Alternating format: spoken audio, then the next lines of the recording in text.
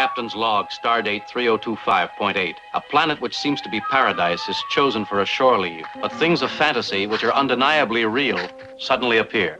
Sulu!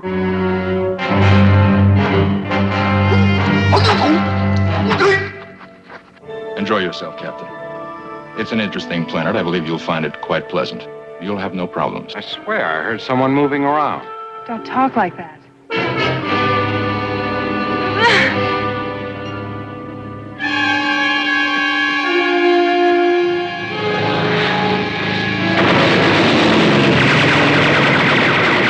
Well, I am on shore leave. And so am I. All right, Jimmy boy. Ah!